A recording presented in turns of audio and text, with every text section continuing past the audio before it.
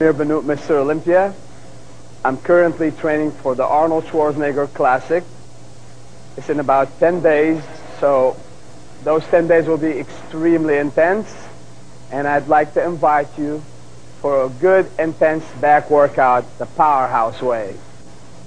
Come with me. Samir begins his powerhouse back routine with barbell bent over rows.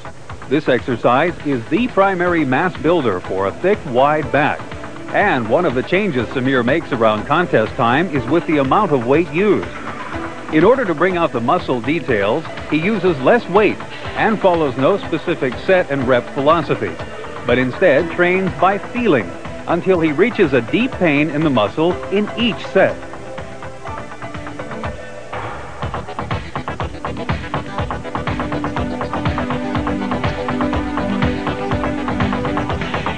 Samir's next back exercise is the close grip lat pull down. He starts with a close grip handle and pulls the bar down to the lower chest while leaning back at about a 45 degree angle. Remember, he's using less weight and is aiming for more reps, at least 8 and up to 15. But regardless of the number of reps or sets that he performs, one thing remains constant, intensity. Samir puts everything he has into each and every repetition and makes every single workout count. Now we move on to chin-ups, a basic yet very effective back exercise. Chin-ups can be performed with additional weight strapped on to build mass, but Samir is using his body weight only.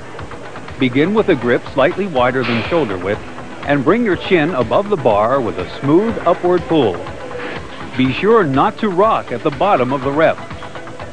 Notice how Samir squeezes his lats at the top of the rep. You can just see the results. Do as many strict repetitions as you can. Then have your spotter help you do some forced reps until failure.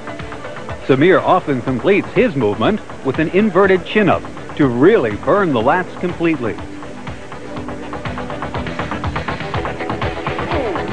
Samir's final back exercise is the seated row.